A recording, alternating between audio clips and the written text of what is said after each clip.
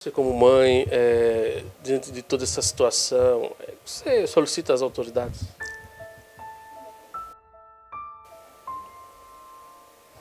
Eu peço que me ajude, porque eu não tenho condições. Desculpa, minha gente, mas abaixo do que eu passei com meu filho, cinco meses no hospital, não é fácil.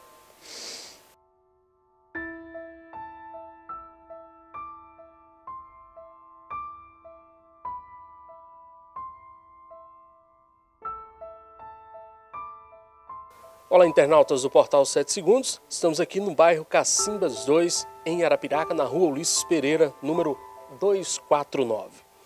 Viemos até aqui esta residência para conversar com a mãe e também com o um rapaz que é colega de uma vítima, que vamos relatar o caso a partir de agora, já que eles estão pedindo ajuda para esse rapaz que sofreu um acidente há mais ou menos uns cinco meses atrás, está em uma cama, imóvel, e passa por algumas necessidades, principalmente tratamento médico.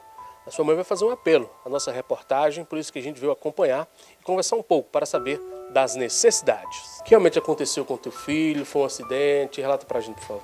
Foi um acidente de carro mais ou menos cinco meses e ele se encontra assim, né? E precisa de ajuda, porque no posto médico daqui não tem, assim, nem gás tem para fazer curativo, né? Então, eu já vou pegar no posto das Batingas para fazer curativo. E a enfermeira, a menina do posto vem, mas como não tem assistência lá, não pode fazer nada. O enfermeiro veio, viu ele, trocou a sonda, mas ele está agora se contando com febre todos os dias, sem febre. Está com resíduo na, na sonda. Também como ele tem problema de pneumonia, né? Então eu me preocupo com isso. Vezes está com as escárias grandes, tem o bumbum e tem as costas.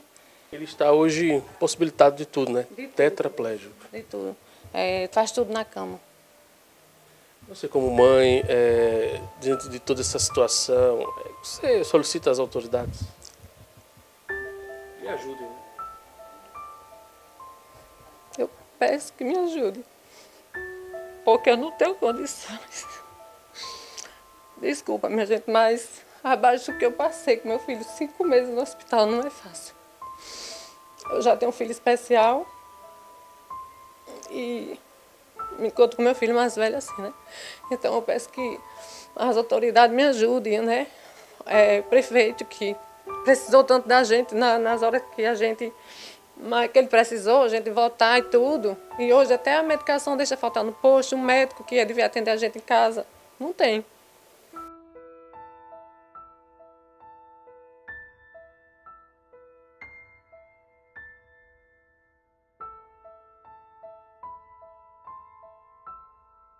Bom, tá aí os relatos da mãe, né, um pouco desesperada com essa situação.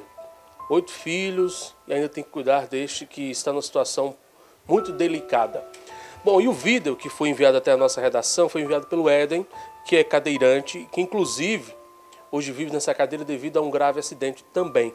E sensibilizado com essa situação, ele nos enviou esse vídeo para, juntamente com o Portal 7 Segundos, pedir ajuda a todos, a Secretaria Municipal de Saúde, ao próprio órgão competente maior que é a prefeitura, alguém que possa tentar ajudar esta família.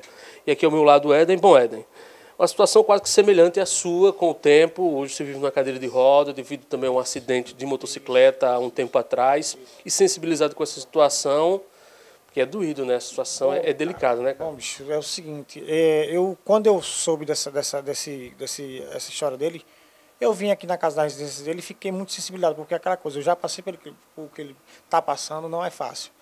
E quando eu cheguei aqui, me deparei, bicho, eu achei um descaso absoluto. Eu vou, inclusive, até vou mostrar os medicamentos que eu pego e por ordem judicial, porque se for depender da prefeitura, meu filho, acabou-se. E eu venho sofrendo, eu venho sofrendo, atrás, olha, olha a, olha a quantidade de medicamentos que eu tomo. Agora, Geralmente é o que o amigo ali vai ter que usar. Né? Justa, e outra aqui, o resto da vida. Isso aqui, ó. Isso aqui são, isso aqui, isso aqui é, por é ordem judicial, certo?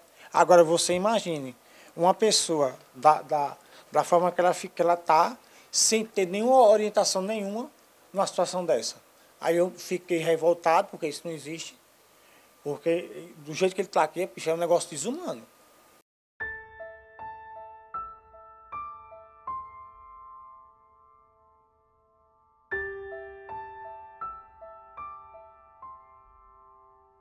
Portanto, os relatos tanto do Éden, amigo aqui da família, que tenta ajudar, inclusive publicou um vídeo na internet, nos enviou, também os relatos da sua mãe Eliana, que passa aí por estas dificuldades e pede a sua ajuda, principalmente ao governo municipal, à área de saúde, para que este jovem possa ter um atendimento médico melhor, já que ele precisa de alguns cuidados. Mas também você pode ajudar de uma forma direta, doando alimentos, fraldas descartáveis, lençol, travesseiro. Então já disponibilizo aí na tela o telefone de contato para quem puder ajudar e sensibilizar a tentar justamente amenizar essa situação.